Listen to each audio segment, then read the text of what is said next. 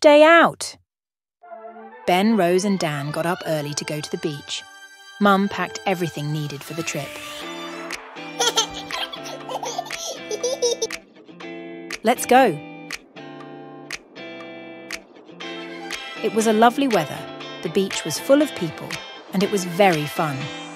Ben joined other kids to play, and they built a sandcastle together. Rose joined other kids in the water, and Dan had a lot of fun too. They went on the rides.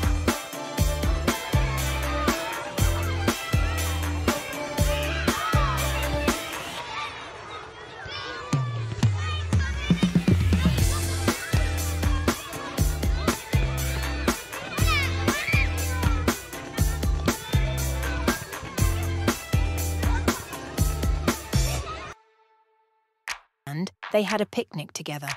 What a lovely day. It's now time to go home.